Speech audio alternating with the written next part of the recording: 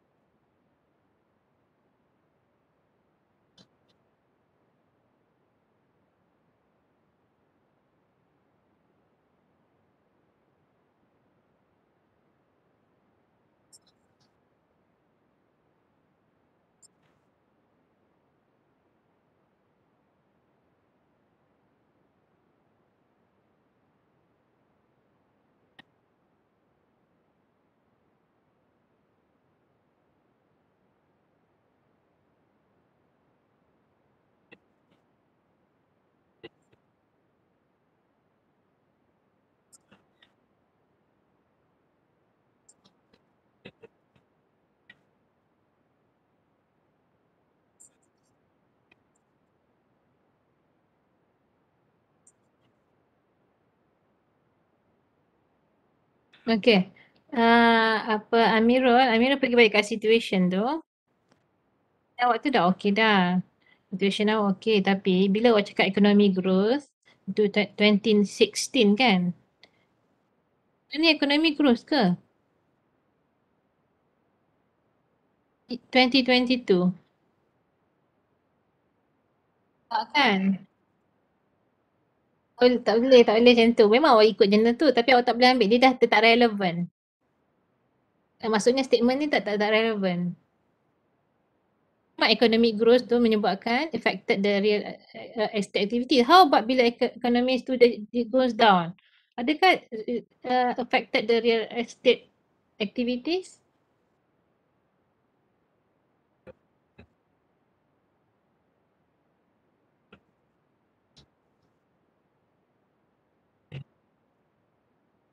Orang tak mampu nak belikan. Ha, okay. So sekarang ni awak tak boleh gunakan reference 2016 ni. Situation ni sekarang ni dah berubah. Bila COVID, awak sebenarnya kena relate dengan COVID situation house house house price prediction ni. Saya saya beli rumah, saya baru sign tadi apa ni uh, agreement uh, ni lah loan. Saya beli rumah 2019. Uh, bulan Disember. So saya mungkin sign dalam bulan Januari, Februari macam tu. Rumah tu punya dah mahal. Tapi saya rasa lepas 2 tahun ni, saya rasa saya mengalami kerugian lah. Rumah tak jadi lagi. Tapi saya dah kena bayar mahal macam tu kan. Because of tu lah. Adakah masa tahun 2019, orang predict harga rumah akan naik dalam masa 2 tahun lepas tu? Lah kan. Because of real estate punya uh, business kan. Real estate punya business, they keep increasingly dia akan naik kan. Okay. Who actually uh, who, who is actually the one who setting the price of house in Malaysia ataupun properties? Siapa yang decide harga rumah semua ni?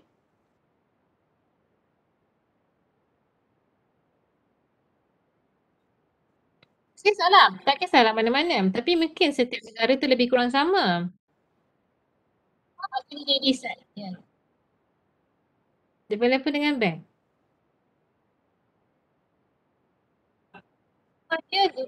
Sebab kalau developer eh, like like one developer to another developer, tapi harga dia lebih kurang sama.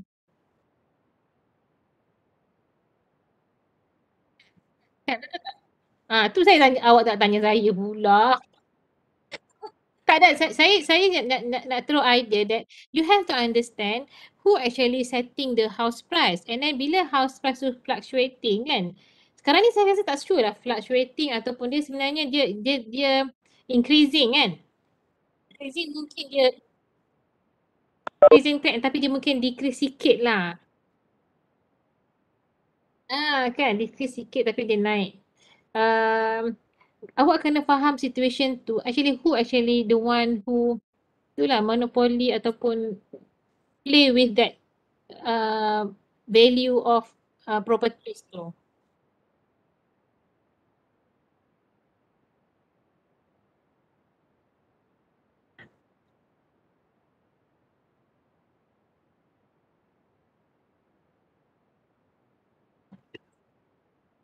Hmm, okay. Itulah bila awak faham situation harga rumah tu, situation tu is like rumah ni sebenarnya developer yang tentukan. Developer ni tak ikut harga apa, dia mesti ikut harga uh, barang-barang dia nak buat rumah kan. Uh, so kos-kos tu semua menyebabkan harga tu meningkat. Uh, kan, jadi macam mana awak nak predict tu, bila, bila, pergi next slide. Awak punya reference aku kena ni sikit. Okay, this is what is okay. Okay. Nampak increasingly unpredictably. So maksudnya ini awak cakap ni Zhang ni cakap kan? Cakap 2021 lah. Ini okay lah. Tapi volatile and volatile to be term in ideal market. Hmm. Okay. Then property price usually never fall. Hmm, memanglah. Walaupun keadaan tak ni pun dia, dia akan jatuh sikit je and select suitable procedure by deciding the price of house.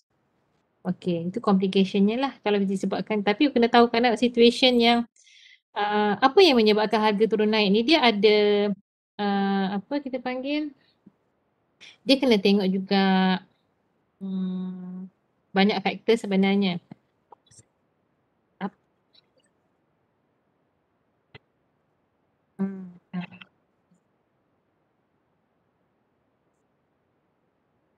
Ah, itu pun mungkin ada lah sebab mungkin barang-barang lah kan yang, yang barang-barang mentah nak buat tu. Okay. Complication dia, yes. Tapi you kena tengok tu lah. You kena faham macam mana nak dapatkan harga rumah tu. Okay, next. Uh, complication, implicationnya implicationnya some people will, will hard to buy house. Tak ada. Awak punya uh, house prediction tak adalah kira mahal ke murah ke orang kan beli juga kan. Ah, kan dia tak ada kena mengena kan. Memang susah nak beli tapi kalau dah kalau nak kena beli beli jugalah murah ke mahal kena beli tak ada tak ada tak ada pilihan. Betul tak? Setuju tak statement saya ataupun tak beli langsung lah. Kan? According to the finding of general census, the use of today we need want to buy a house in ni maksud apa kat bawah ni?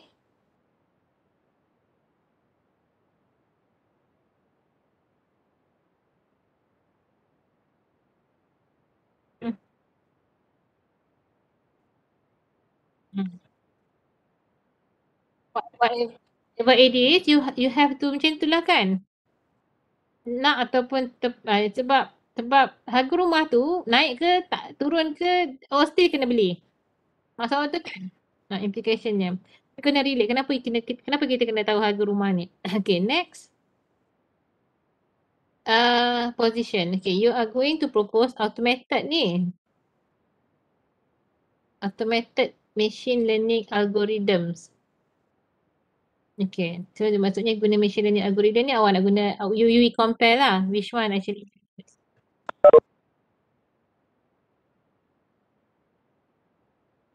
Ah, awak nak guna tiga ni. Siapa support? Siapa support vector regression ni? Saya tak pernah dengar pula.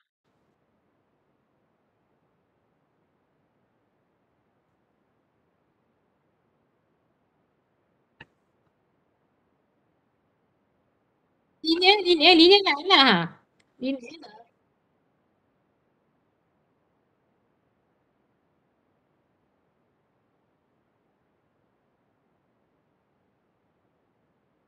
Okay, is it, is it Okay, Amirul, is it support vector machine plus linear regression?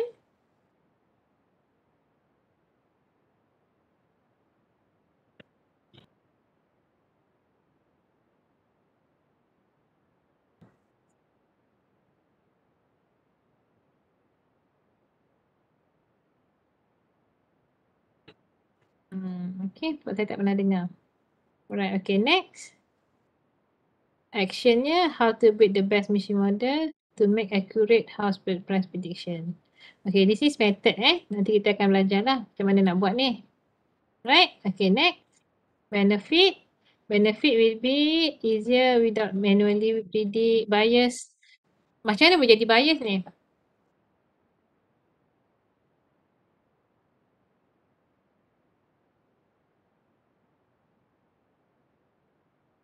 Hmm. Hmm.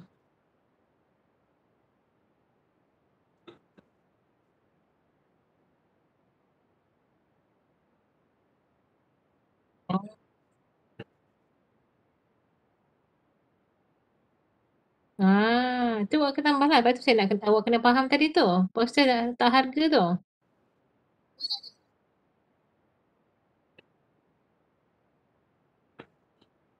Hmm.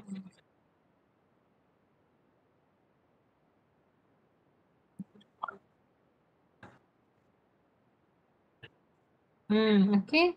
Then annual agreement in house price can better better predicted tu macam mana?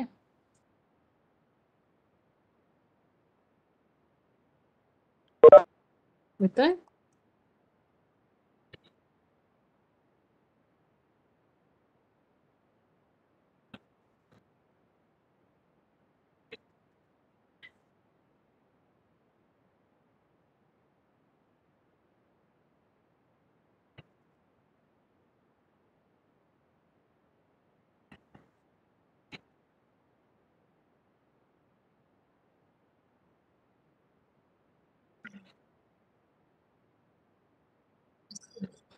Sebab tu awak kena study government regulation eh. Saya rasa government regulation mesti ada tetapkan dia punya harga, maksudnya harga lantai. Okay. Floor price untuk basic rumah, rumah kena ada apa? Rumah kena ada tiga bilik, satu bilik air, ada dapur, ada ruang tamu. Ha, itu berapa basic tu harga tu. And then bila you tambah satu lagi bilik, berapa jadinya? Tambah bilik air satu berapa? Saya rasa ada. Awak kena tengok dekat-dekat ni lah eh. Uh, kerajaan perumahan kot. Kementerian Kerajaan Perumahan Tempatan. Oh, saya pun tak ingat apa nama. Mungkin yang ada dokumen tu. Untuk study on the house price ni. Awak kena faham ni house price ni dulu. Sebelum awak buat. Bukan ambil data, masuk dalam machine learning, keluarkan bukan macam tu eh. Kena buat research dulu on the house price prediction ni. Okay. Ada lagi? Tak ada kan? Last sikit ni. Apa tadi? Uh, kelas yang you dah ni you kena submit tahu kan? Hantar dekat Google Classroom eh. Saya nak tengok balik. Bagi markah. Alright, doktor. Alright. Uh, okay, thank you Amirul. Okay, next. Buat tiga orang. Saya plan nak buat sepuluh orang ni. Empat ke? Oh, pun tiga dah. Banyak sangat cakap. Okay, komen sikit-sikit. Okay, next. Tadi uh, Mirul group mana?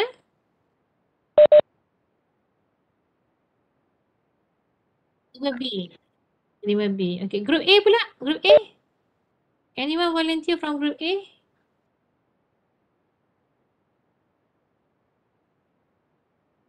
Pak lah group A. Oh, kau panggil nama eh? Doktor saya try doktor boleh? Siapa?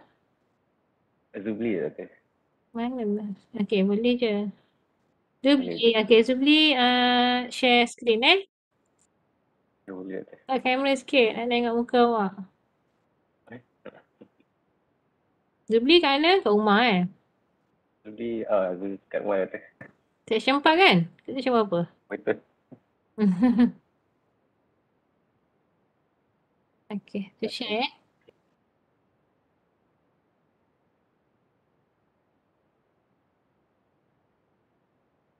Nampak screen saya. Nampak? So, uh, Assalamualaikum uh, doctor and my fellow friends.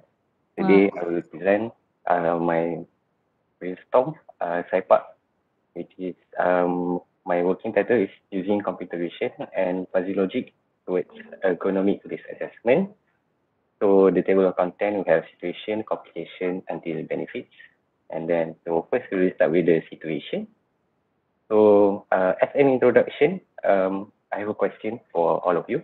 Have you ever felt like uh, neck pain, back pain, or discomfort while working from home or studying online? Yes. So do you know that sitting in the wrong posture in a workplace environment can lead to inflammation and degeneration of functional body structure.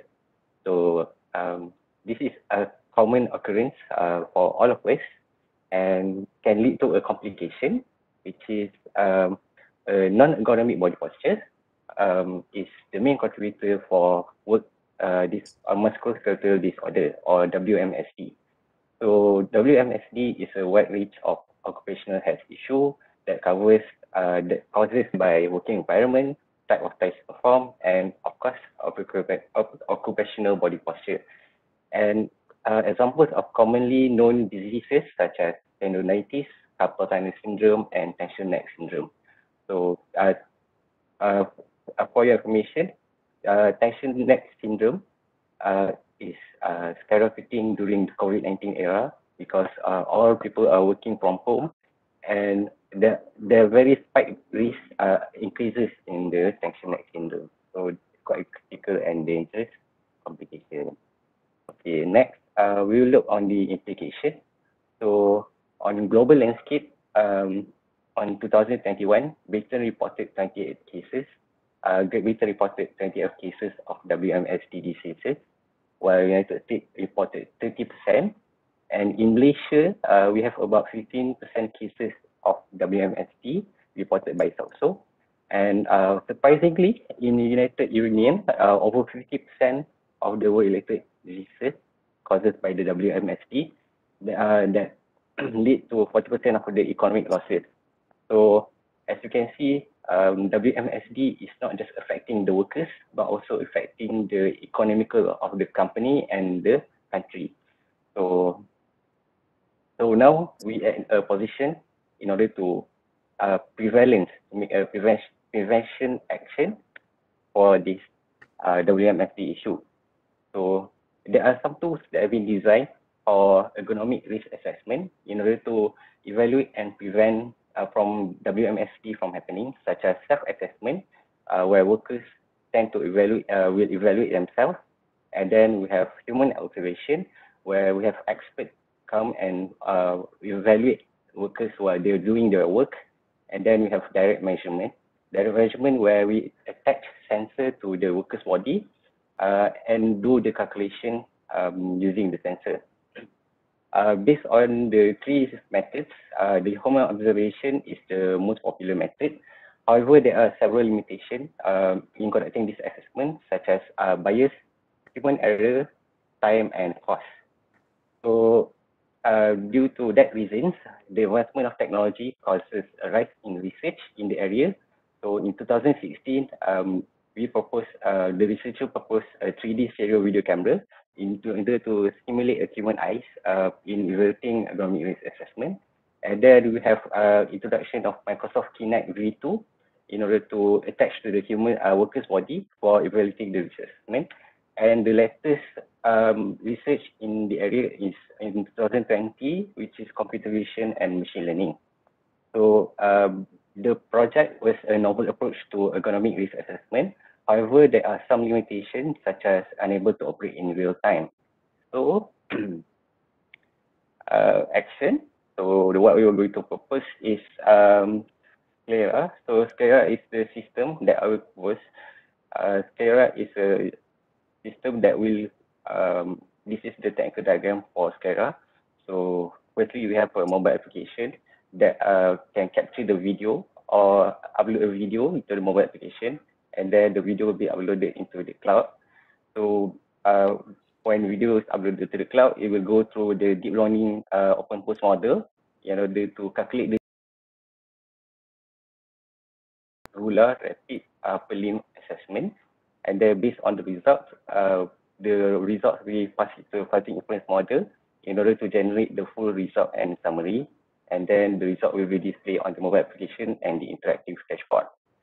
So this project is um, validated by experts from um, lecturers at University Puncak Alam. So uh, below uh, the screenshot of our first uh, meetup. So with the experts, uh, they will be guiding uh, in terms of the overall of the project and the rules for the uh, fuzzy inference model. Okay, so uh, lastly for the benefits, uh, we have uh, for the ergonomic trained person, which is uh, the person that will conduct the assessment. Firstly, it will reduce the cost and time to conduct the assessment. And then um, they will have the benefit to evaluate uh, the workplace ergonomics in real time.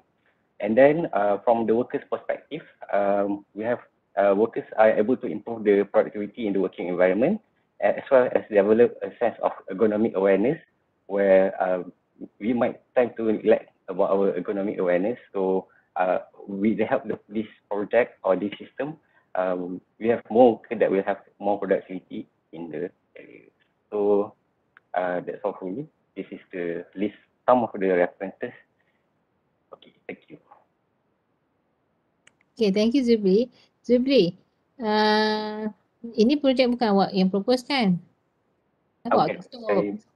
Ah, oh, oh, ya, dah, dah. Ah. Bukan awak propose kan? Ah, bukan.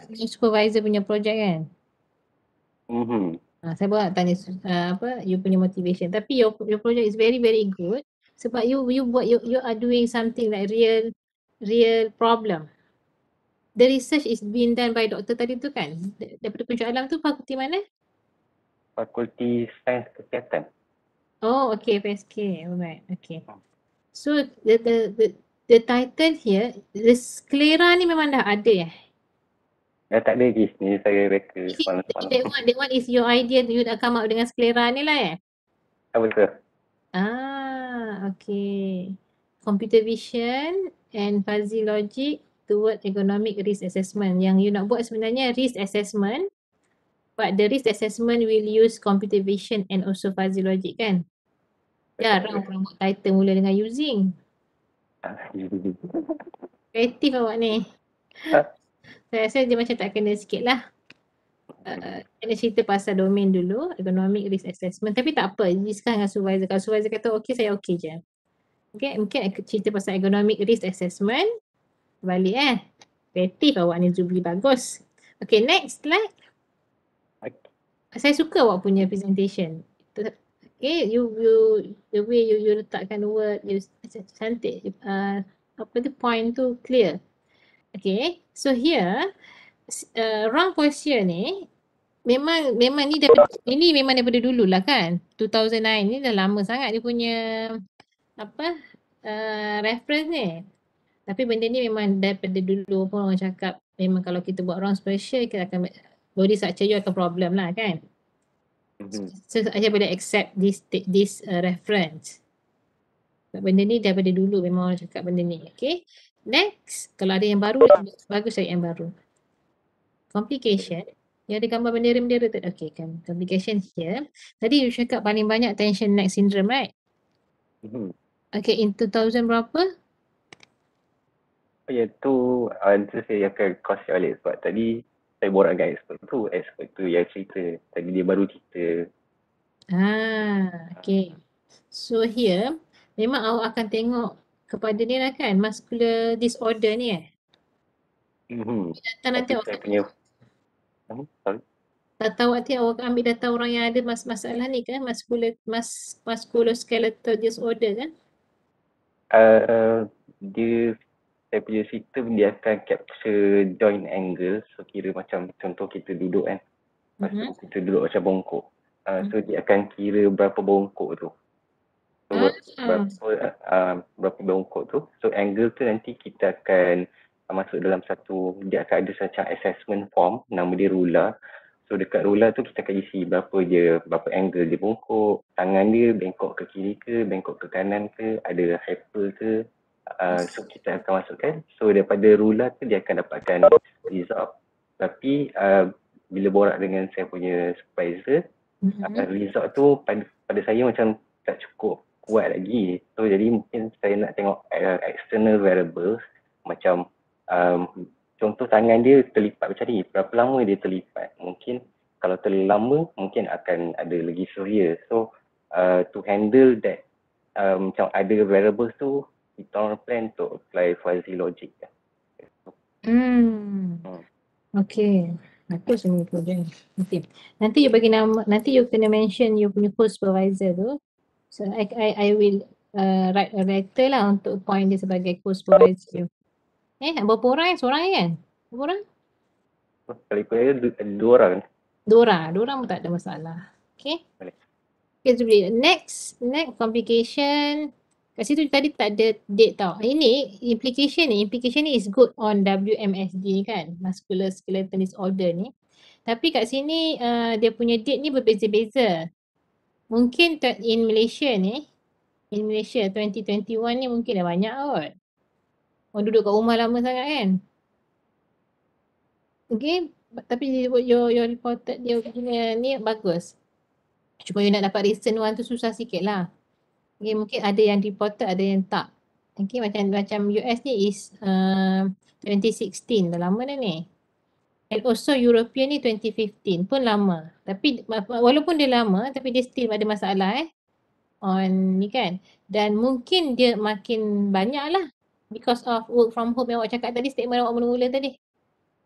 Okay, nanti awak carilah eh. Punya tu. Okay, next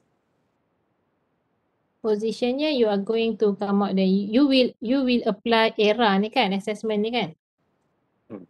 to your uh, project. Okay next. Position okay. So biasanya orang guna kamera apa semua you nak guna computer vision. Computer vision will process terus kan and then detect kan. betul betul Okay. Kat sini awak tulis computer vision and machine learning. Sebenarnya saya rasa computer vision tu tak payah kot. oh yang Guna machine learning je lah. tu Computer vision is satu satu field, area. hmm. Okay. Ha. Uh, machine learning tu teknik yang awak nak guna untuk proses tu. Okay, oh, tapi boleh tanya dengan saya rasa saya tak, saya tak bersure tapi saya rasa tak berapa sesuai dengan computer vision and machine learning. Computer vision will apply machine learning of course. Oh, sorry. Y- Yang using computer vision and machine learning ni uh, paper lepas. Oh ada, ada paper macam tu. Ah. Oh, Macam nama ni, dia. macam ni dia define? Ha? Macam ni dia define computer vision, apa, machine learning apa? Uh, nama paper dia, um, oh sorry, yang ni sebab saya buat simple kan. Nama paper dia Ergonomic Risk Assessment based on Computer Vision and Machine Learning. Hmm. Hmm. Computer vision and machine learning macam tak kena sikit. Tahu biasalah paper ni semua orang boleh tulis apa-apa yang dia nak ya. Tapi boleh boleh discuss dengan Serazia sesuai ke tak? Macam tak kena. Computer vision is one area. Kalau cakap tadi apa uh, area tu sebab dia computer vision is gambar kan, video kan? Mhm. Video kan sebenarnya. And then dia akan proses video tu. Itu yang nama teknik computer vision tu. Area and they are limited and be able to operate in real time. Sekarang ni awak nak buat real time ke? Betul ke? Oh, okay. Right, okay, next. Ini action. Ini pun awak dah ada ni bagus lah Zubli. Hujung semester ni siap dah lah. Uh, Semester depan tak payah ambil CSP yang 50 lah. Dah siap ni? Dah ada architecture dah, bagus. Okay, dia dah ada plan dah. Ha, betul. Okay. Okay. okay, next. Okay, this is your, your action. You, you you have a meeting with the experts kan? Bagus yang ni. Okay, next. Benefits. Benefit with benefit tu semua pekerja kan. Note this. Okay. Alright. Okay, Zubli. Thank you very much. Okay, thank you, Dr. Kau punya kerja. Okay. Uh, next. Next, group A. Group A kena tiga orang. Pat. Panggil dah nama. Oh, tak tiap volunteer. Mana this? Group A. Adib ada? Saya ikut nama nombor satu je lah. Adib Ridwan ada? Tak ada. Ada doktor. Eh ada, okey. Okey Adib. Well, sekejap eh.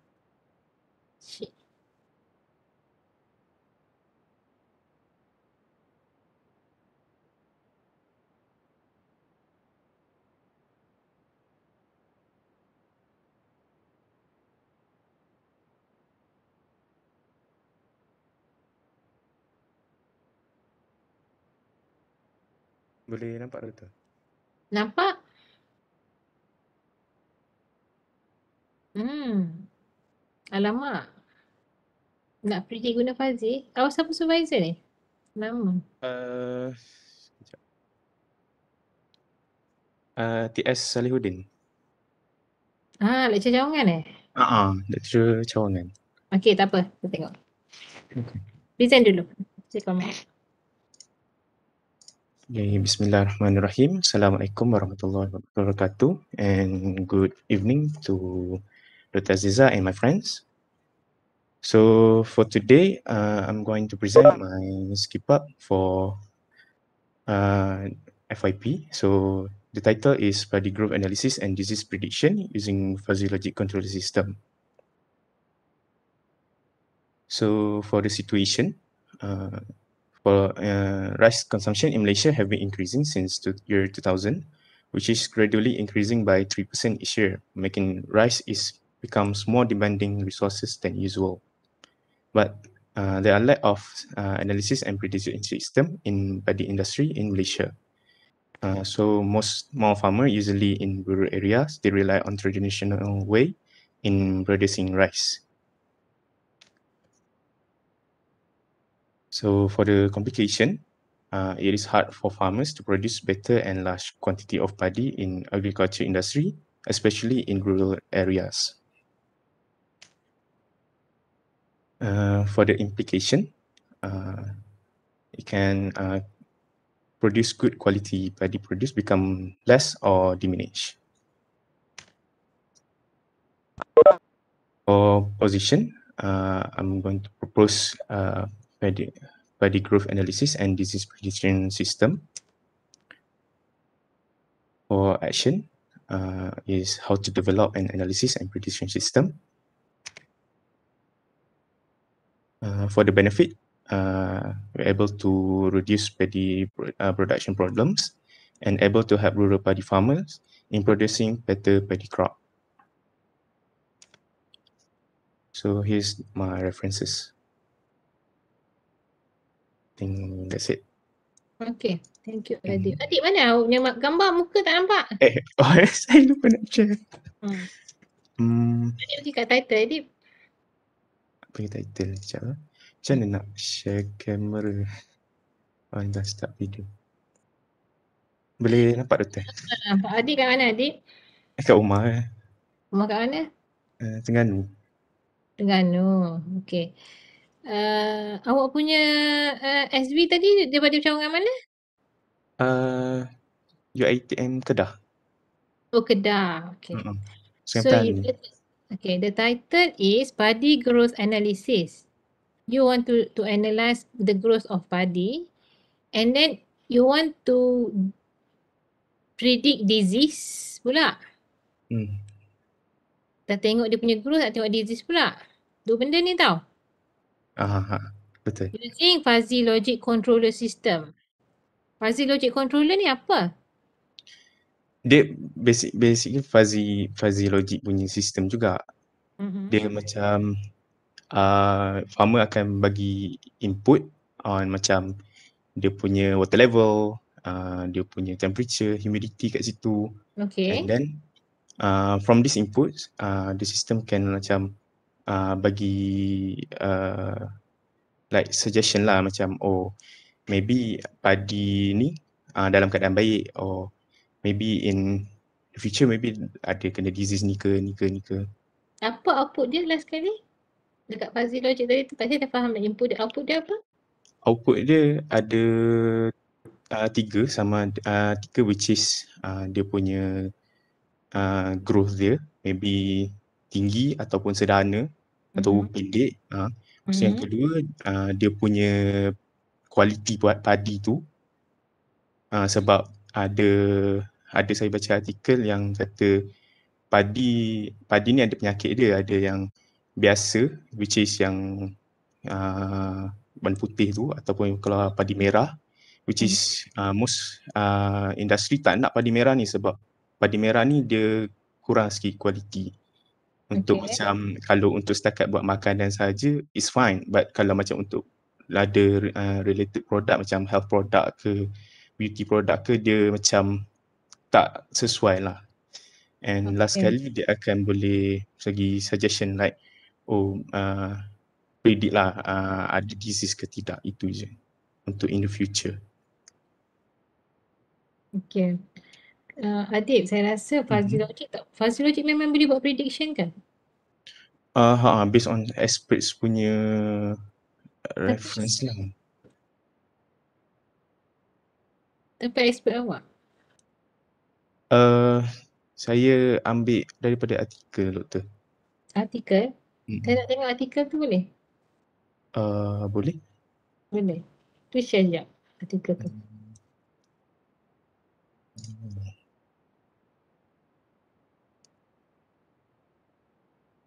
Awak belajar fuzzy logic kan? Belajar? Belajar. Memang dia boleh buat prediction eh fuzzy. Oh, ha, ha. Sekejap ni doktor. Kat mana learning process dia eh? Hmm. Sekejap saya cari balik doktor. Boleh. Saya nak betulkan ni awak buat benda ni ada dua benda tau. Growth analysis and also disease detection. Disease prediction sorry. Disease prediction eh. Dua benda. Data ambil kat mana? Ini. Data dah ada? Oh, siapa punya paper ni? Hmm, ni basically research from Indian punya apa project. Tak, tak, tak, tak. Okay. Apa nampak? Okay. Ah. Hmm. Yeah. Growth analysis and disease prediction using fuzzy logic. Sebiji orang ambil. Pakai ke India ni? Kat mana? Ah, Source, source ni, dia, paper ni dia publish kat mana eh? uh, paper ni saya jumpa Tak, tak, tak, tak, tak, tak, tak, tak, tak. Turkish Journal. Mhm. Awak bila tu tak, tak, dia tak, tak sharp. Tu. Okay. Ah, okay. Hmm. Boleh saya zoom lagi? Ah, boleh, okay. So pergi dekat dia punya method. Method ni. Okay. Ni, sebab dia kat sini, dia guna fuzzy expert system. Mhm. Ni fuzzy logic controller biasalah. Okay, and then dia tambah expert system. Okay, okay bawah. Dia ada sensor, kamera. Takkan awak nak buat macam ni? Okay, ni fuzzy logic controller. Okay, pergi kat fuzzy logic controller ni. Eh, gambar tu. Stop. Okay, dia punya input. Input will be body type, temperature, humidity, sunlight and soil moisture. Masuk dalam controller yang tadi tu lah kan. And then dia Hmm. keluarkan output water level, plant growth and disease predicted. Kenapa tiba-tiba dia keluar disease predicted? Kalau pokok tu sihat. Disease predicted which- is in the future doktor. Macam dia macam Ada possibility untuk dapat. Macam mana boleh Hmm, jadi hmm, ada hmm. possibility untuk dapat eh? Kalau kat sini kan ini cuma Fazi. Fazi ni tak ada tak ada langsung nampak ada boleh buat prediction apa-apa. Data dia tak ada data dia dia tak ada guna historical data tau. Cuma masukkan je value. Dia kena ada fuzzy value lah. Maksudnya kena Hmm. ada Krebs value dulu. Betul-betul. Hmm. Okay, tak boleh macam ni ni ni. Data ambil mana? Data. Tu dah tanya tadi ke? Belum. Data set. Mm-mm. Uh, saya ada jumpa dah dalam Kaggle cuma mostly macam uh, guna untuk image processing doktor. Yes, yes. Ke- bila awak bila guna fuzzy, kita ada value ni awak kena jumpa expert. So siapa human expert yang awak nak jumpa ni adik?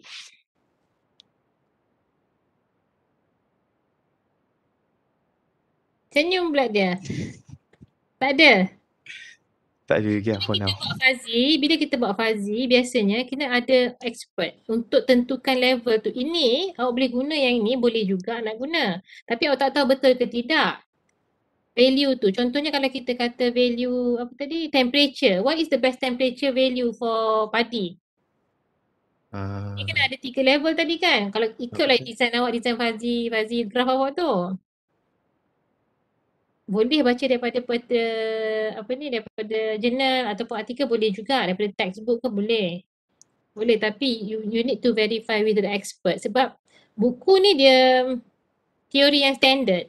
Tapi bila keadaan kita punya uh, apa ni temperature apa tu um, weather kita yang uncertain ni dia mungkin berubah.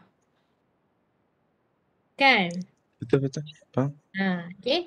So, uh, pergi balik kat slide awak tadi. Title awak tu, saya rasa awak kena ubah sikit. Fuzzy Logic Control System tak boleh. Fuzzy Logic Control System dia macam ada controller yang kita masukkan fuzzy value lah. And then come out dengan output tadi tu. Bila awak cakap growth analysis tu, title tu ambil sebiji daripada situ tapi paper tu dia tak berapa cantik sangat sebenarnya title dia tu. Okay, so mungkin boleh discuss balik dengan supervisor, discuss balik. Maybe you can look into padi growth analysis ni. Padi growth analysis ni you nak analysis dia punya growth sama ada dia besar ke tidak kan? Mhm. And then you need a data set on that. Betul. Data set ada tak? Dalam padi growth ni?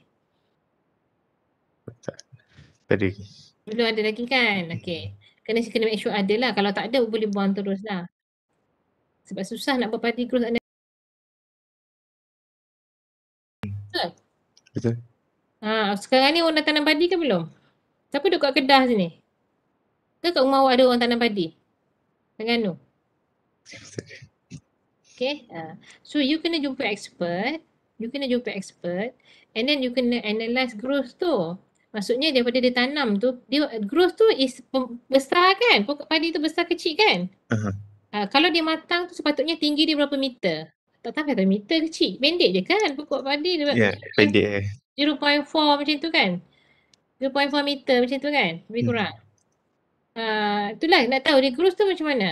Paling tinggi berapa? Paling rendah berapa? Kalau dia tak bergerak maksudnya dia tak growth tu mungkin ada sebab lah. Okay. So tak boleh, boleh guna fuzzy untuk dapatkan analisis tu. Tapi kena ada data tu untuk buat analisis sikit. Analisis tu mungkin boleh guna machine learning algorithm lah. Hmm. Data analytics. Faham kan? Boleh boleh. Kena guna data analytics. Disease prediction, bila kita buat disease prediction, biasanya kalau kita nak predict disease, kita kena tengok tengok gambar. Kalau padi untuk kalau macam kita tengoklah awak nak tengok padi masalah eh, beras dia ke ataupun pokoknya ke. Hmm. Awak nak tengok yang mana? Tengok Disease tu. Buahnya ke ataupun isi, uh, pokoknya? Lama nak jawab. Apa? Apa Tengok adik, adik, Adik tak apa, tak ada masalah. Okay, you pergi balik dekat you punya apa tu situation. Next slide. Situation, rice consumption. Okay, situation ni kita makan beras. Tapi tahun du- 2000 apa apa dalam dalam dalam bracket 3 tu apa? Bracket 3 reference ni. References. Jangan guna references macam tu eh. Okay. Kita tak buat paper, kita buat report. Kita guna APA. Itu IEEE. Okay, pergi balik kat tadi tu. Okay, your, your situation tu betul lah cerita pasal lack of analysis and prediction. Ada sebenarnya banyak je student buat on padi ni. Banyak, banyak, ada banyak dah. Okay, uh, even macam-macam award pun dia orang menang on on this one because it's very good untuk agriculture punya sectors. Boleh cerita pasal agriculture eh. Lack of analysis and prediction system ni tak tak, tak adalah lack pun ada banyak je orang buat research on padi ni. Okay next. Uh, complication hard for farmer to produce better and large quantity of padi in maksudnya production lah kat sini orang masukkan kan? Ah, ah, ah. applicationnya. Okay, next. Good quality padi produce be, become less and diminish. Um, sebab apa tak boleh dapat hasilkan quality ni? Sebab uh, maybe Tak ada analisis tadi. Orang mention tak ada analisis kan? Ah. Sebab apa? Uh, cakap Ha, kat sini kan adik awak tak clear implication ni. Maksudnya situation tadi dah okey, kita tahu kita perlukan ni tapi uh, apa complicationnya sebab uh, orang tak tanam padi dengan betul. hmm, Ha, kan? Tak tanam padi dengan betul. Jadi bila tak tanam padi betul, padi pun akan jadi rosak apa semua. Tu tak dapat lah. Implicationnya production kurang lah. Hmm. Betul kan? Quality tu belum lagi tau. Quality pun mungkin ada lah tapi mungkin mungkin lah juga. Dia produce tapi tak ada quality. Kan tak ada quality tak ada orang nak beli lah kan. Malaysia produce produce uh, ber, padi ni berapa banyak satu tahun? Kena ada kena ada tu eh, kena ada statistik Ah, tu. uh, statistic value. Eh, you to try to find that statistik berapa kita consume beras satu tahun dan kenapa kita still import. We still import kan? Betul? Betul. Kanan kita? Okay. And then number five. Uh, position, uh, propose growth analysis and disease prediction system. Ada dua benda kat sini ni. Boleh nak buat dua-dua, tak ada masalah. Tapi dua-dua kena ada data yang berbeza. Eh, dua-dua data tu berbeza. Okay, next. Uh, action, how to develop. Uh, development ni tak apalah. Okay, next. Able to produce, reduce paddy production problem and able to help rural paddy producing better paddy crop. Okay lah, untuk okay. Tapi itulah, uh, Adib you punya problem tu macam tak clear sangat. Eh, and then sama juga dengan solution lah. Bila kita tak tahu apa benda kita nak solve, tak tahu apa masalahnya, then solution kita tak tu. And then uh, awak group A kan? Ah, ah, ah. Group A awak beli data track. Ah, yes. Data track kena guna data banyak sikit lah. Baik. Eh, uh, kalau data banyak lah untuk tunjuk big data tu. Hazi tak banyak guna data. Eh, bukan tak boleh, boleh. Buat Fazi uh, bagus untuk tengok growth analysis tadi tu ke ataupun disease disease tak sure.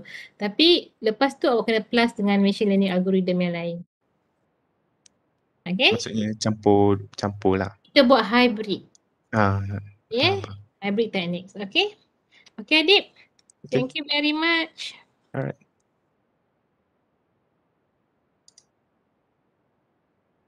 Next. Siapa nak ni?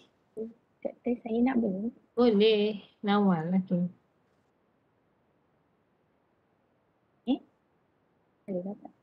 Ah, tak nampak berada. Belum. Okay. Share awak punya slide. Doktor.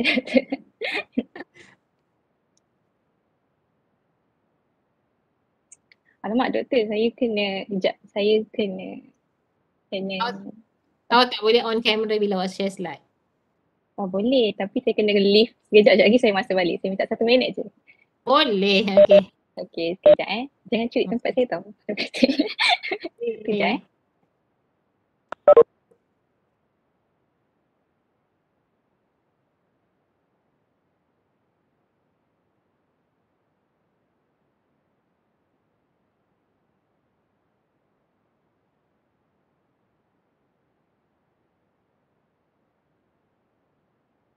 Kelas? Oh, dengar tak? Ya saya. Dengar madam. Okey. Dengar Awak, doktor. awak, awak dah mood raya ke? Slow je. Dah mood raya belum? Sejujurnya dah. Belum. Alif tak sabar nak raya eh. Awak raya mana ke? ni? Ha? Kat Selangor je. Tak boleh mana-mana tahun ni. Kat Selangor je. Puchong. Kampung kat mana? Puchong?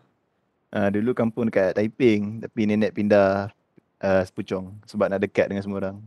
Wah, bestnya. Dekat lagi senang tak jam. Kan? Betul. Ha. Betul betul. Orang lain nak balik jauh-jauh jam. Yang lain? Awak yang lain-lain semua? Mood raya belum? Alif seorang je? Alif mood raya sebab Saya dia pun sama. doktor. Saya pun sama doktor. Oh. Doktor, saya punya mood minum air waktu kelas. Belum Kenapa? lagi, belum lagi.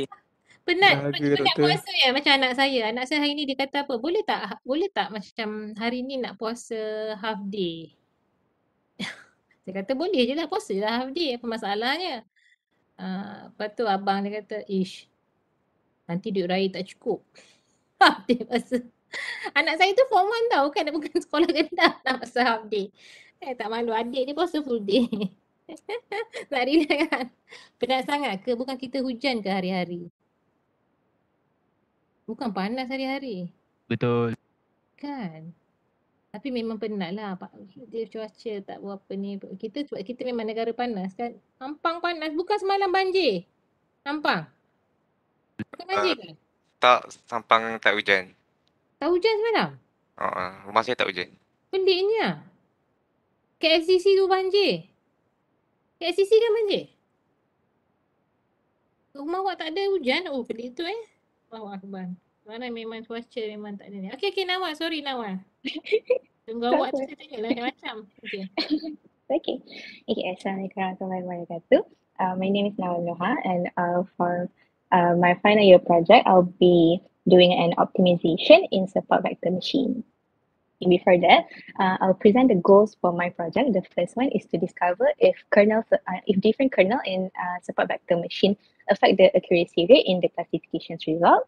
Uh, second is to find the best optimization technique uh, to be used in support vector machine. And thirdly, uh, to understand the importance of kernel function in support vector machine. so before I start, I'll briefly explain about support vector machine so all of us are, uh, all of us will be on the same page. And okay, so uh, what is a support vector machine? So by definition, support vector machine uh, maximizes the margin around the hyperplane that separates two or more categories. So and in an easier words that I can explain, uh, support vector machine helps to classify the hard uh, data points uh, hard to classify data points. Let's say if the data points is uh, almost similar to each other, uh, support vector machine helps to uh, okay. So I'll continue with the SciPap. Okay. So uh, for my SciPap, uh, the situation is uh, data classification and prediction. Um, it, may, it might look simple, but uh, the complication with data classification and prediction is uh, firstly, as I can as I explained just now, is when dealing with support vectors or hard to classify data points. Uh, basically, if we are we are uh, dealing with uh, with hard to classify data points, um, it's easier for us to make mistakes in classify classifying the data, and uh, it's harder to make predictions and give them the right class. Uh, next is to uh, if there's too much noise in data set. And lastly is uh, if we did use the support vector machine, but with the less suitable kernel uh, that is appropriate. So the implications that comes with the complication is one, like I've said, data can be wrongly classified. Uh, the next one is uh, to, if there's too much noises or if we did use the wrong, uh, we did use the less suitable kernel or uh, the data was not classified correctly, it will affect the accuracy rate in data classification and noisy data and corrected data can lead to fault diagnosis. So by right, once we get once we get the result at the end of our project, uh, the result might not be as efficient or as usable as we wish it to be. And uh, noisy or corrupted data set can also lead to overfitting. Okay, and then um, using the wrong kernel will decrease the quality of the result produced by support vector machine. So next is the position. Uh, so in my position, uh, the best proposal that I can propose is to um, propose the best uh, optimization technique for support vector machine. Uh, how am I going to do this? Okay, so I will be comparing uh, the four uh, optimization technique that is uh, that we might have heard of and is quite well known, which is the Firefly optimization technique, particle swarm optimization technique, and colony and uh, RBF, which is the radial basis function.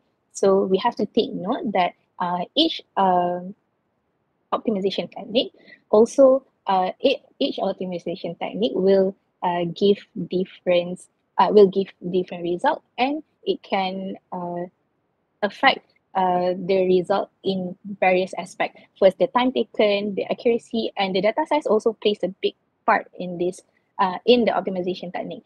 So first, uh, let's say let's talk about time taken for a while. Okay, um, different using different optimization technique will cause us different data and uh, but it will cause us uh, different time taken but uh, it does not mean the accuracy could be better or worse. That is what we are planning to reach and to understand by the end of this project. Okay so the benefit of uh, the whole project is to determine which of the optimization technique that can produce the best result on classification accuracy. And then um, to uh, just for my project uh, we mm, uh, me and my supervisor, Dr. Aisha Majasin from uh, UITM Raup, uh, we are planning to compare uh, the SVM using the optimized SVM with different data set at the end. So we do have two data sets in mind, which is the student data set and also the um, business data set. Uh, these two data set will come from uh, Dr. Aisha herself. So the first data set, uh, the first uh, for business data set, uh, SVM, optimized SVM can definitely, definitely help a company or business owner or any organization to detect customer behavior. This way, they can sustain their business better and they know how to make um, better decision uh, for in the future. And then uh, for student data set, uh, this, this one will also come from uh, Dr. Aisha. Okay, for student data set, this will um, help uh, to detect and to predict uh, if this will uh, help to predict uh, which student carries a higher risk of failing uh, in her subject. So uh, Dr. Aisha is right now uh, teaching uh, ISP. I'm not sure the correct codes, but we used to take ICT. That one is the one that Dr. Aisha is teaching right now. So uh, that is the one that she is planning uh, to, uh, that is the data, data set that she is planning to see, like to research at the end of our project. This is the reference that, uh, part of the reference that I've used for my um, presentation. Thank you. Thank you, Nawal. Thank you. Bagus, Nawal. Nawal, your supervisor is Dr. Aisyah. Ah. You group A ke B? A. Okay, pergi balik kat title. Eh? Okay. Uh, you ni bagus. Okay, nampak researchnya optimization in sector support vector machine. Tapi uh, bila kita buat research, bila kita buat research, kita perlukan banyak masa. Okay, banyak masa ni maksudnya you have to study all the optimization techniques. Yang tadi you cakap kan, you nak tengok apa tadi optimization? uh, support uh, support betul lah uh, firefly uh, particle swap uh, and colony dengan radial basis function Faham ke semua-semua algoritma tu? uh, saya faham uh, for now saya yang saya dah briefly research is the uh, radial basis function sebab yang tu uh, for now macam kalau kita uh, check banyak uh, support vector machine ataupun banyak uh, sistem sekarang yang pakai RBF. Yang lagi tiga tu sebab sekarang uh, kita ada uh, subject optimization ISP 611. So uh, I'm learning as I go. Betul? Okay. Tapi Nawal, Okay. uh, saya tak suggestkan student buat banyak-banyak. Kat sini ni dah ada dua benda yang kena buat. Optimization, satu lagi support vector. And this one is quite general. Kita kalau boleh FYP punya scope, FYP punya scope is only apply Okay. So dekat sini, bila awak cerita ni, awak cerita memang banyak on research. Okay. Bagus lah. Buat dia memang bagus. Okay. Pergi kat next slide. You punya objective goal. This is objective lah kan? Hmm. Okay. To discover kena quite uh, benda ni bila ni research. Research ni ambil masa. Saya tak kata FIP tak boleh buat. Boleh. Boleh buat. Boleh buat tapi nanti awak susah sikit. Sebab bila kita buat research, kita perlukan masa banyak. And then orang buat, biasanya tajuk awak ni macam tajuk PhD. ah, tajuk PhD. PhD memang buat macam tu lah. Kerja dia memang dia buat tu je, tak buat benda lain. Awak buat macam-macam. Then knowledge awak, ban- knowledge awak masih surface lagi on optimization and support vector machine tu. Apa yang awak tahu sekarang ni, what you have learned on SVM ataupun optimization, you boleh apply sahaja. So what you can apply, you pergi balik dekat slide benefit tadi. Eh, eh, eh. Benefit ni you nak you nak, nak tadi kan you nak nak nak prove that the, the optimization tu boleh buat kan why not you ambil satu dataset kat sini ada dataset dua dah ni ini dataset ni siapa punya Ah, Dr. Aisyah punya. ada dataset okay so awak boleh tengok on customer behavior ataupun tadi sudah dataset ni dataset apa Dr. Set data Dr. Aisyah juga. Dia macam dia nak uh, dia nak uh, predict if the student is failing her uh, subject uh, by the end of the semester. Okay, why not choose one of uh, one of this uh, apa ni domain whether you nak tengok customer behavior ataupun nak tengok student ni punya ni lah performance eh. Mm. Performance lah kan, student performance. Okay, then apply optimization on set, oh, tak tahulah saya kat mana ataupun you nak you boleh apply SVM. Dalam SVM tu you boleh tambah satu optimization lah. Nak dapatkan satu kena tu you dah boleh optimize satu kena tu tapi satu je tak boleh banyak-banyak. Dah banyak dah tu sebenarnya nak buat tu. Sebab Tu besar. uh, uh, sebab waktu mula-mula tu uh, saya punya original idea untuk FYP kena reject sebab Dr. Aisyah kata oh besar sangat ni. Lepas tu Dr. Aisyah kata this one, uh, Dr. Aisyah is the one that suggested untuk yang ni lah. Lepas tu memang dia tengah cari orang uh, to uh, do research and to learn a bit pasal uh, optimization in SVM. So her idea was uh, kalau let uh, sambil saya buat paper ni, if, uh, she will guide me as I do it. And then if there's uh, a chance or there's a, an opportunity and the paper turns out good, dia nak publish. That's why kita buat dia bit besar. And I was aware lah yang dia besar. Memang kita dah bincang memang dia macam a bit besar. Tapi um, uh, saya nak uh, um, macam ni eh. Uh, sebab benda ni pasal machine learning juga kan. And then last semester machine learning saya macam tak adalah membanggakan sangat pun. So saya nak guna the opportunity uh, to redeem myself in a way. Macam tu doktor. Tapi saya tak tak agree on what you are doing now lah sebenarnya. Ah sebab nanti awak yang sakit. Saya tahu uh, lecturer uh, sebab kita kita kita pilot test sebenarnya bagi kat lecturer cawangan ni. Dan semua semua lecturer dia ada research masing-masing. And we hope that student can help uh, uh, the lecturer to itulah to come out dengan finding on that their research. So dia bagi satu skop tapi saya tak tahu ini skop yang mana. Tapi skop ni besar. Memang dia akan bantu awak tapi awak yang buat. Ah, betul? Awak yang buat. Bukan supervisor yang buat. Mm-mm. Nanti dia susah sikit kat situ. Mm-mm. Ah, banyak benda machine learning nak kena tahu apa tu optimization nak kena tahu optimization tengah belajar. Bukan optimization memang bukan senang eh optimization ni dia niche. Mm-mm. Ah, kalau awak boleh apply automation dah cukup dah Mm, kepada So, ni. Tapi saya rasa Dr. Aisyah pun dah buat benda tu. mm, Dia dah buat on that. Dia dah buat uh, mungkin dia dah buat optimization pada customer behavior dan juga student performance ni. Dan mm-mm, dia juga dah try SVM juga. mm-mm. Eh? Uh, kalau macam tu awak cari domain lain yang boleh apply awak punya teknik tu. Cari problem lain. Jangan problem on algorithm. Problem algorithm susah. Sekarang ni problem awak on algorithm tadi awak cerita tadi daripada mula. Situation tadi kan? Betul?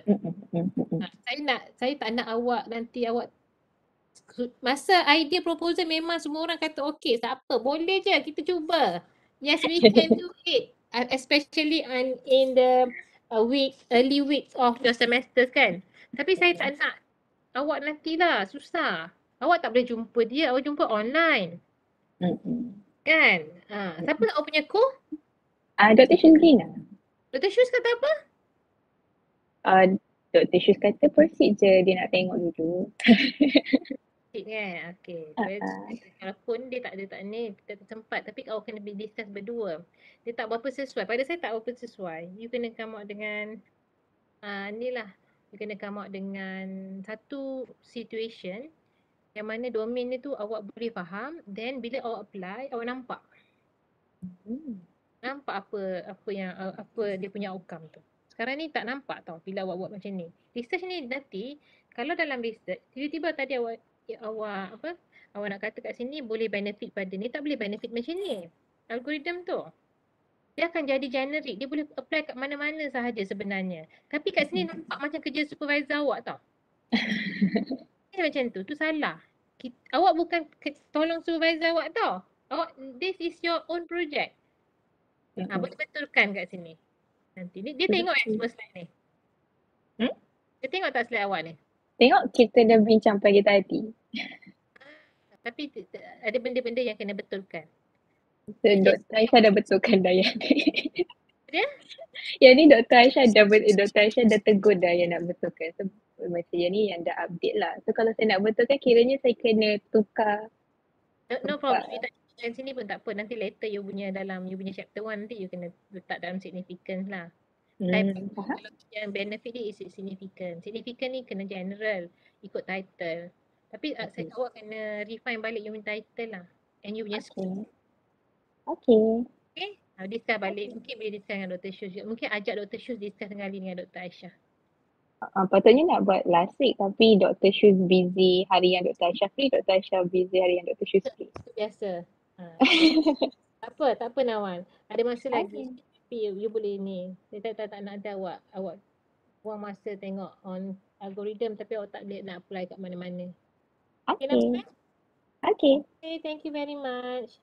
You're welcome. Hmm? Ni Kak Reti nak keluar sekejap. Ke atas. Roll roll mouse ke atas. Alamak. Dia tak nak buka website saya dah. Dia tak bagi dah doktor. Ha? Oh tak apalah. Dah boleh dah. Boleh dah?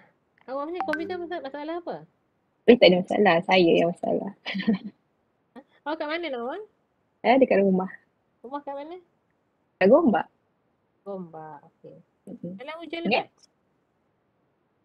Ah, ah, hujan. Hmm, Tak adalah lebat sangat tapi hujan lah. Tak, tak banjir lah. Ah, tak. Okay. Thank you doktor. Assalamualaikum. Salah. Okay, next. Lepas ni awak ada kelas ke group A, group B? Ada plus Ada language. A Ada, doktor. Group, sekejap. Kelas apa? third language. Oh, tu Third language. AB. AB dua-dua ada? Third language? Ah, Ada. rasa semua kot. Semua Semua doktor yang yang SAM lima, I think. Tu satu orang tu. Boleh. Tahu ke? Boleh tak boleh pukul empat? Saya tak ada kelas third language. Eh, macam mana pula awak boleh tak? Saya nak buat doktor boleh kalau sempat. Boleh. Cepat. Boleh eh. Tapi ah takut pula. Sekejap. Tapi. You just uh, share. Ah, sekejap eh. Aisyah group mana Aisyah? Saya group B. Okay. Lepas tu.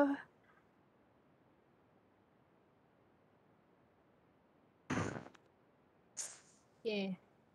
Okay, nampak ke? Ah, nampak. Ah, nampak depression. Tadi siapa? Ah, ah sama dengan Alif doktor. Alif Mana Faizal. sama? Tak tahulah sama sebiji ke tak. Tapi saya Sebiji lah dia tak guna perkataan sentiment analysis tadi. kan ah, betul? Saya guna. Eh, okay, Saya okay, punya tajuk is Sentiment Analysis for Depression Detection on Social Networks. Uh, the situation with the pandemic happening, Since 2020, online classes for school and university students have been held for more than two years, and due to that, depression rates have spiked due to the tension and stress caused by the inability to catch up with the classes. Several parties have raised a complaint towards is- this issue, but there are multiple setbacks and contradicting situations that couldn't be avoided if we are to go back to physical classes. Due to, due to the online classes, uh, in result of the depression rate spiking, students that couldn't tolerate the stress caused may result in causing self-harm and have to cope with suicidal thought. They may become overwhelmed by their feelings and couldn't divide time for study and other things. If this continue, they may get overstressed and left behind by other well-achieving students. Their studies will be hard to complete, especially for final year students that have to focus a lot for their FYP. Many students with depression took a break or quit their studies. The implication to this is that suicidal thought will eventually lead to the death of an individual. However, there are also cases that stress caused by the online course classes cause sudden death to them. This will not only affect the person in act, but also their friends, lecturers, and families who will then blame themselves for not noticing their pain and helping them earlier. The society will lose a youthful teen that have a bright future ahead of them. The latest incident was from last year when a fellow UITM student died from overexertion due to having to complete his assignments at 5 a.m. This is because he couldn't divide his time properly and work was piling up. His blood vessels ruptured, causing internal bleeding. And then also, a student from USM was found dead in her room by her own parents last January. She even left a farewell note. And how devastating must it feel towards the parents having their beloved daughter died just in their house due to depression and they are unable to help them?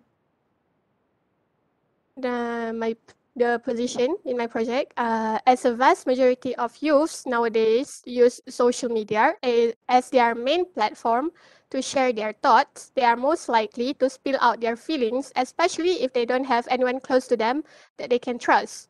Therefore, I propose a sentiment analysis that goes through social media posts from apps like Twitter and Facebook that can detect the sentiment through text in the form of depression systems and suicidal thought among the users of these apps.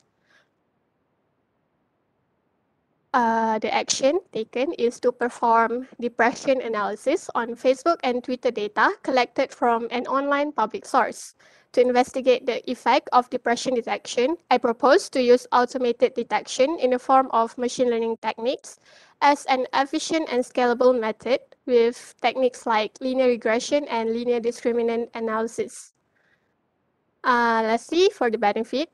Firstly, the data that we receive from the analysis can be used to detect to detect the depression system symptoms among students. Next, using that, we can approach them to offer help in the form of a hearing ears or helping hands or therapy sessions. And then we can help them to calm down and adapt to their new situation, whether it is online class or home environment. And then we can help them combat the depression and suicidal thoughts, thus lowering the depression rates in students. Lastly, as a result, as a result, there will be no implication that results in self-harm and death of an individual. Thank you. That is all. This is my three main reference that I use.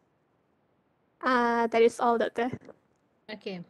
Uh, go back to your your title.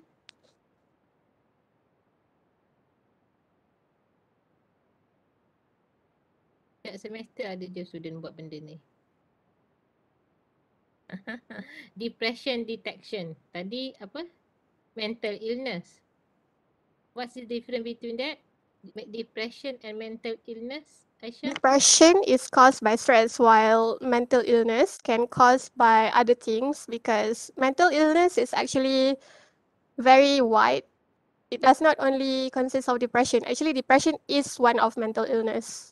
Ah, okay. So you punya scope you already narrow down. You, you just only choose one mental illness, which is depression. Yep. Depression is caused by apa tadi? Uh, online classes. Uh, Online by uh, no no by stress. Stress. Okay. Because of stress and then it lead to depression. Yep. Okay. Uh, so depression detection ni you want to detect for students who Yep. are That is my target. your scope. Yep. Okay, okay, next. Situationnya ada orang nak buat test awak nak buat guna test. Are you going to come up with a system only only come up with a level? Ah, come again, Doctor? Awak nak come up dengan sistem ke?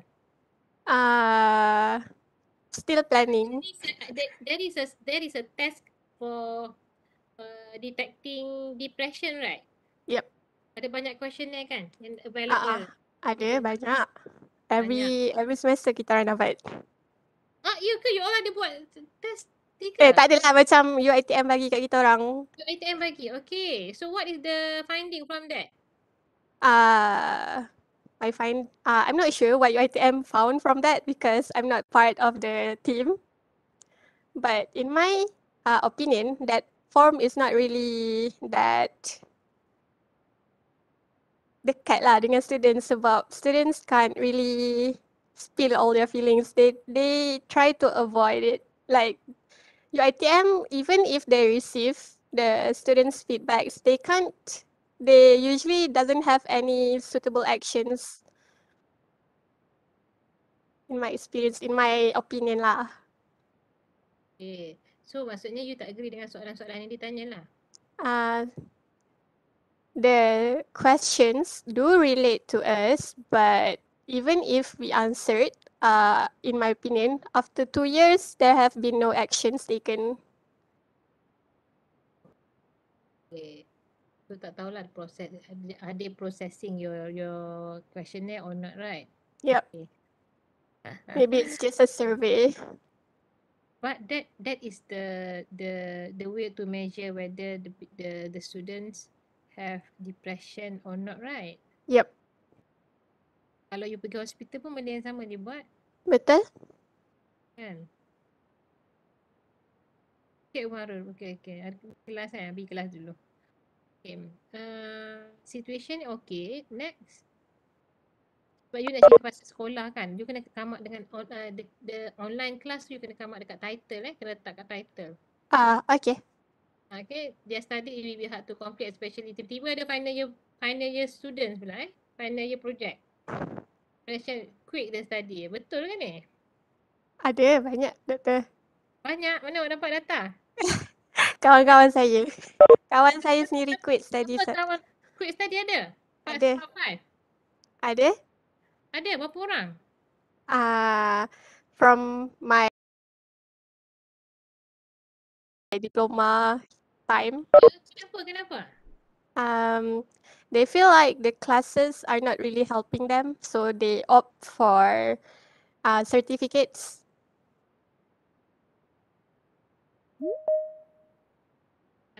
Okay, okay, okay. Sila, sila, sila. Siapa nak tu? Okay. Application boleh tapi ada ada case study kat sini. Final student. Okay, next. Next, lepas complication, Aisyah, implicationnya, implication suicidal thought. Last semester ada student buat on suicidal thought.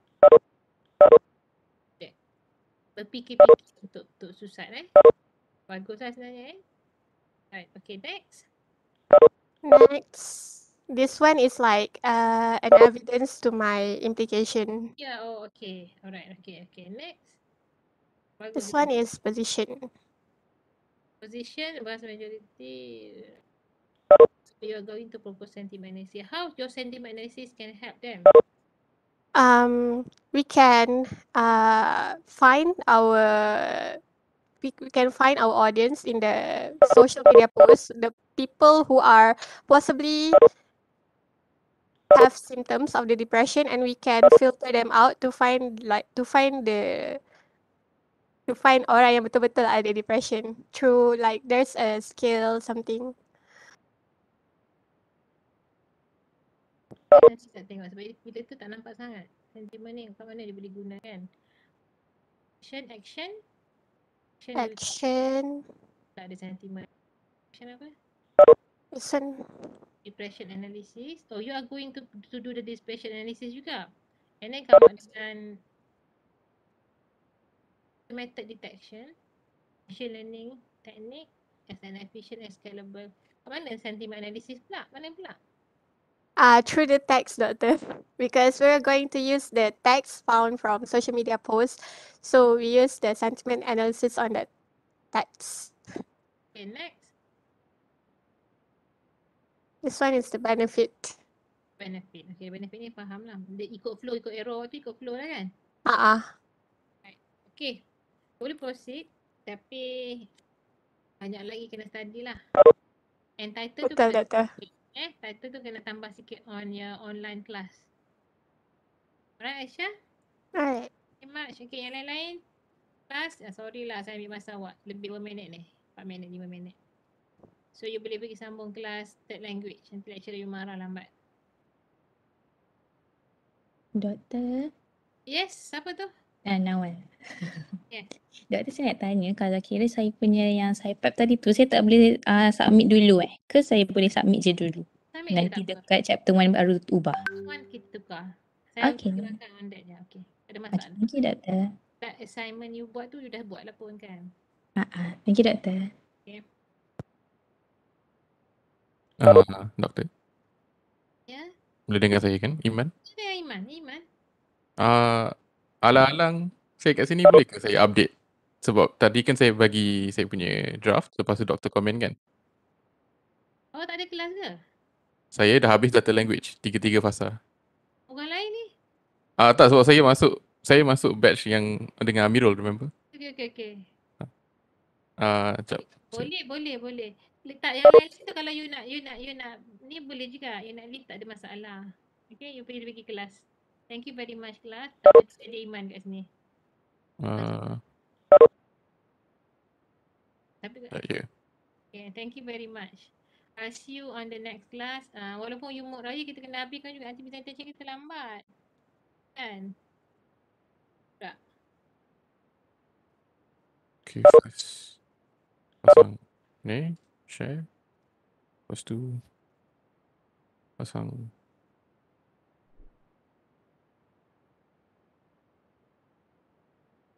Uh, doktor nampak ke?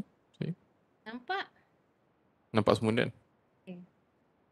Kena saya nak sorokkan benda ni. Saya first time share screen dekat Webex ni. Okay, oh, okay. Uh, awak duduk sini. Okay. Uh, so update yang saya buat yang beza tadi uh, kan doktor suruh draft dulu uh, title kan? Uh, title ni tak apa nak betul tak apa. Okay. Nah itulah saya try buat apa yang saya faham dulu. Ah uh, so based on this tu apa yang saya perlu betulkan dulu? Tak apa, you present dulu. Tengok Okay. okay. Alright, assalamualaikum and a very good uh a very good evening to everybody present to my presentation. So this is my title, flood detection via time series data using anomaly detection. So moving on to situation. Uh, in simplification of the text above as you see here, basically Malaysia is having and is experiencing rain that's worse and worse every year. And so we need to improve in prediction skills of extreme events that would lead to severe and widespread flooding, like we see in KL yesterday. And also the one the one that we had previously before, which is one of the worst floods Malaysia has ever experienced uh, since 2008. Then we move on to complications. So the problem with the current status quo, or the current problem, uh, the current method that we have, is that Malaysia depends on meteorological data gathered by AWSs, which is automatic weather stations. These stations often have a multitude of errors, not only because it's considered outdated as a technology in of itself, but because further developments in this field has not been made. Uh, the data that we gain may have a a 15% uh, error, a margin of error, as uh, reports have stated in this particular article that the accuracy for AWSs uh, is uh, priced around 85%. So we need more accurate data and we need uh, we need trends in order for, for us to predict stuff which I will continue here. Implications. So this picture was taken yesterday in uh, near KL where where the, where the flood was pretty bad, even though Malaysia has only been raining for two hours. So, if we do not, uh, if we do not proceed with this, if I personally do not pursue this endeavor, Malaysia faces a possibility of reoccurrence and the intensification as it grows every year. So we need uh, a warning system for both weather and flood events. So position and action. Uh, position. My position is to propose to develop a system that can detect pin and pinpoint anomalies, uh, anomalies like sudden rise and drops in temperatures, uh, different direct changes in wind direction. Because in reports before this, it said that the precipitation rate is influenced by the winds that has been brought into and out of Malaysia. So depend uh, based on those types of data, we will be able to forecast upcoming floods depending on the rainfall trend. And my action is by utilizing Google Trends alongside the R programming language.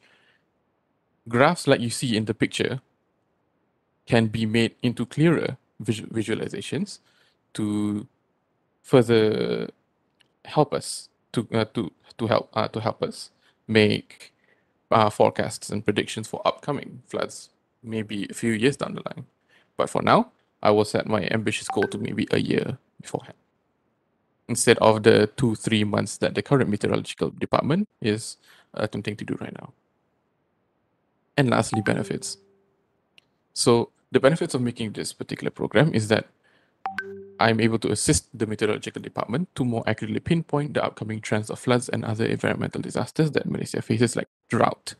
And this is just one of the other uh, global uh, global warming, climate change, uh, environmental disasters that Malaysia faces every year. But for now, my main current focus is uh, flood detection.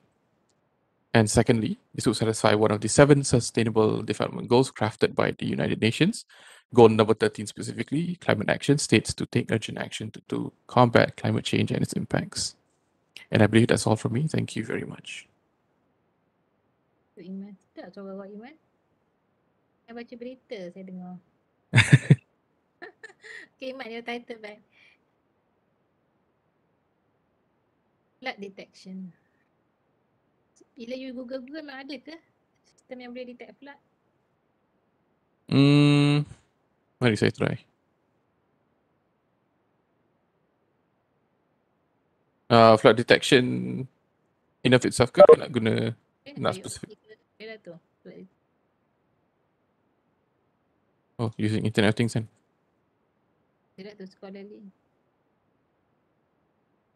Flood detection using IoT. Jadi IoT ni dia letak dekat uh, sungai kan? Hmm, I believe so. Sebab kalau hujan, hujan turun, dia masuk dalam sungai, sungai increase, then boleh detect flood. Detector detection of flood disaster system based on IoT, big data and convolutional. Itu 2020 tu. Yang ni kan? Yes. And then another one back bawah tu 2021. Mana tadi tu?